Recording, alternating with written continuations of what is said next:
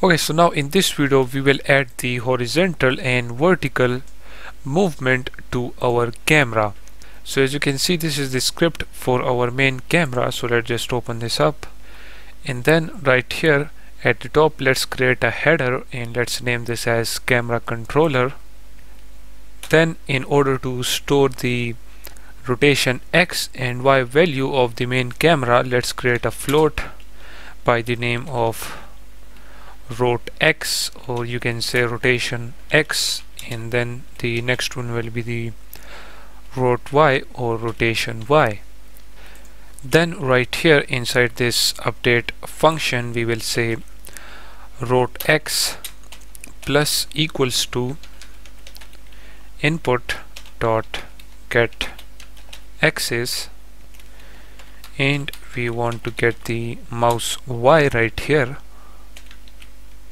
and then for the rot y or rotation y we will say plus equals to input dot get axis and this time we will use the mouse x. And you guys will be thinking where this mouse y and mouse x come from. If we get back to unity right here if we click on edit then project settings right here in the input manager okay inside this axis you will notice the mouse X input right here and the mouse Y. And you guys will also be thinking that for the rotation X we use the mouse Y and for the rotation Y we use the mouse X. This is because when we for example when we move our mouse from the left side to the right or from the right to the left side we don't want the main camera to move up and down. We want the main camera to move to the left and right side just like the mouse movement. Okay so that's why for the rotation X we use the mouse Y and then for the rotation Y we use the mouse X. So now we have the input for the rotation. Now what we want to do we want to now rotate our camera. So first of all we will create a variable by the name of target rotation and in here we will say quaternion dot Euler. Right here for the x-axis we will pass the rot x. Then for the y we will pass the rot y or rotation y. And then for the z we will pass 0 because we don't want to rotate our main camera on the z axis. Okay and as you know that quaternion dot Euler returns a rotation that rotates the z degrees around the z axis and the y degrees around the y axis. And this z degrees around the z axis okay? Now right here after this minus sign we will call the target rotation variable right here and we will multiply that by this gap between the player and the main camera.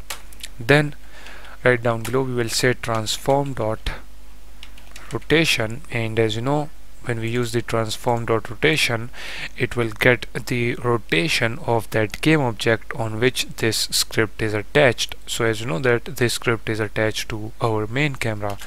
So the main camera rotation will be now equals to the target rotation that is it. So now if we save the script and get back to unity right here we have the player and the main camera okay? Now let's just click on this game window right here and then change this from play focus to play maximize okay? So now whenever we play our game it will be in the full screen as you can see okay? So now as you can see when we move our mouse up and down the camera is moving up and down.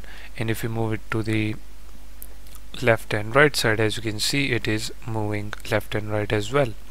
Okay so now we have the camera rotation right here. But if we move the main camera right down below the player as you can see the camera rotates around the player on 360 and we actually don't want that. We want some limitation to the main camera so that the main camera doesn't rotate around the player on the 360 angles okay? So that we will be doing in the next video. In this video you learn how to add a rotation to your main camera